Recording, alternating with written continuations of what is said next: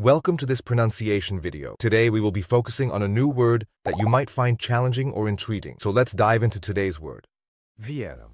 which means Viram, a city in Portugal known for its historical significance. let's say it all together.